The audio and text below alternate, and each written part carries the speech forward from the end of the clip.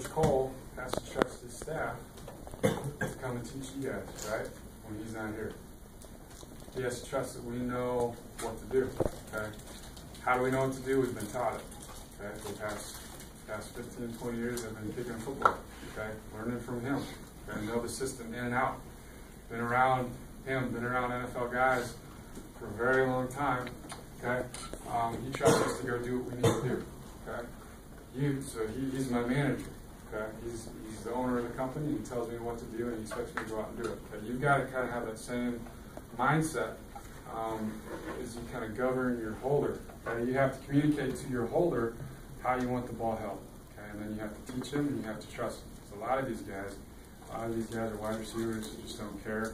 Backup quarterbacks that, that would rather be throwing the football. Okay, guys that aren't always with you. I see some smiles back there. You guys probably understand what I'm talking about. um, you guys have to find out a way to get time with them. Okay. Um, some of you guys are fortunate enough to have uh, another punter or a peer punter to play with you at the college level. It's a lot easier to have your punter hold you guys can get time with each other anytime. Um, if you gotta, if you gotta talk to your guy, to get him to stay, buy him dinner, to get him to stay after practice. Um, you gotta do what you gotta do. Okay? But it's up to you to really manage him and tell him what you need to get done. Okay?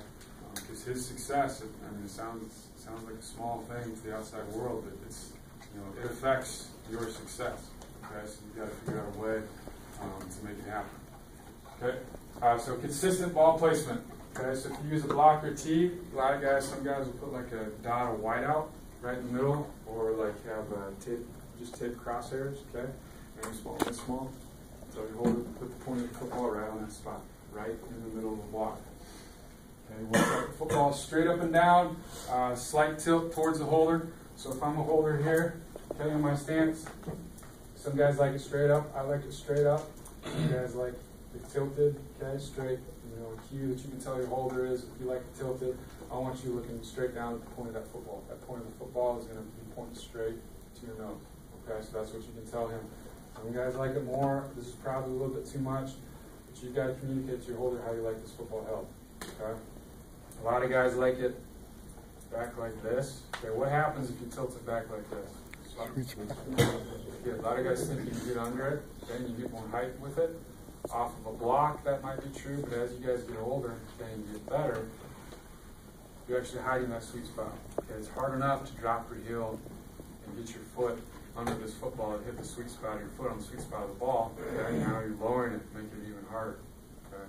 Some guys actually tilt it a little bit, just a tad forward, actually exposes the sweet spot. Some guys that'll kick into the wind, have their holder tilt it forward, okay, if this is at the higher levels, so you can drive through the football, you don't have to change your kick at all. Um, it's just kind of changing the way your foot gets through the football.